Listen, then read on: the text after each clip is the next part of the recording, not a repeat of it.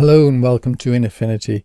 In another video I described the uh, color dominance model, the 3M model, and in this video I'm going to show you the macros of how you can do that very quickly and something of how you can use that.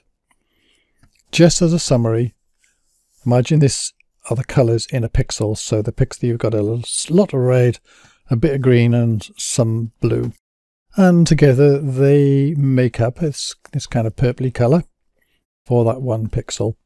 But also think, what if you could split them apart? So you, that the, the maximum color here, I can split them up so that this I can identify the maximum, the minimum and the middle color, and those are all on separate layers. So for this particular pixel, the red is on the maximum layer, the green is on the minimum layer, and the blue on another layer again with the middle colors. But on another uh, pixel, those could be all different again. But it means you can make sense by saying this is the dominant color here, this is the recessive color, and this is the color which is the supportive color in the middle. And that can help you decide how to edit your picture. Let's take an example here. First of all, we're going to set up the macros. And the way to get to those is you go down below here, there's a link, follow the link, that'll take you to a place to another link to download the macros. You'll also find at the bottom of the page, of that page, if it, you can't download from the top link, the bottom one will let you download as a zip file. You'll also see the, the version 1 ones, which I've left accessible if you want to use them um, because it's now version 2 because I found that using procedural texture as a calculating engine is far more efficient than using apply image. So in other words, they should all calculate faster because I've redone the other macros doing the same thing, procedural texture faster. So if you go to view, when you've downloaded this studio and library, and then the library the, along the top here, hit the hamburger, and say import macros, your macro will look something like this. Double click that and it just appears open up down here. So here's the ones I've covered in other videos and here are the 3M dominance ones. I'm going to cover the bottom one, the gaps one in another video. But for this one here, let's see what we can do with it. So I'll just click the 3M dominance, see how long it takes. That used to take with apply image absolutely ages. Now it's done. So if I open this, you can then see there's maximum, middle, and minimum. So, if I alt click the top one, this says the highest value color of RGB in the sky is unsurprisingly blue.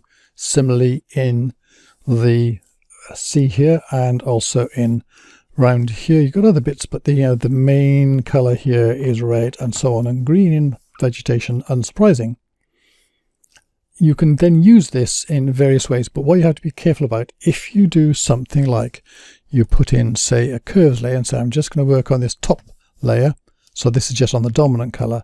If I start tweaking this, you soon start to see where the edges are, because this is a hard edge to this. So you can see here, it, it, it just transitions rather quickly. You can blur it, but that also gets problematic. So far, I think the best use of these is for masking. So if I go to Alt click this one again, Control 0 to see where it is, this area here, I could just use the red to pick out most of this and then just mask off the rest with a paintbrush. I could do for this, I could take a copy of this and play around getting rid of the red and the green, but it's easier done down here. So here you can see it's already on the layer here in the channels tab so I can just go to the right click on the max there. If I say create a grayscale layer, then here we go. I'm going to just that right to the top and I'm going to turn off this one now. I've now got this grayscale, which shows me here. I could, could have used that as a mask as well. I can convert this to a mask. I can do things like, can, let's get a paintbrush here and I'm going to paint in black to get rid of the bits that I don't want to use as controls. I can paint those out. Uh, and I can also say, let's just kind of like make this go solid up to white. And uh, a way of doing that is simply go to a curves here and just pull which way is it? This way the right one to the left and everything then goes solid white. And there's a bit more a few more things there. Let's turn the brush down. I'm not going to get that background stuff going to leave the things around here that's okay but this is looking a bit jagged so I'm going to do a quick uh where is it wrong one there we go blur what was I thinking and just turn up the blur to soften that a bit so I don't get hard edges on my mask. And there we go. And I can then go right click on that and say rasterize to mask. And I've got myself a mask which I can see and you can see there it's already selecting this area. And if I actually want to select more of the areas here, I can just use myself a white brush to paint because I know painting on the mask itself which is going to pull out those things there, which can very quickly take that, and so on. So, but to use the mask, I want to use it with another control. So if I can say put in a curves layer, and what you can do with this, if I say select and deselect layers, then no layer is selected. So if I put in a curves layer, it's just going to appear at the top. There we go.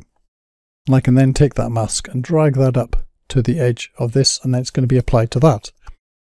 So now when I'm moving this now, I'm just controlling that area. In fact, I could say, let's just do the reds. So I can now say darken off the reds or increase the reds and I can now say I'm going to warm that up a little bit there. And then I'll say take the blues and pull that down to make it a bit more yellow. So I've just warmed this area up here quite neatly. See it's all nicely selected.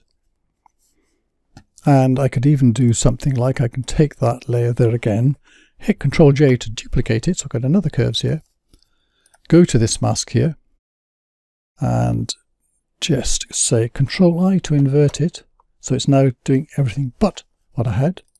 Go up to the curves, reset the curves and say, well, let's just now go say to the blue and we'll darken the blues a bit.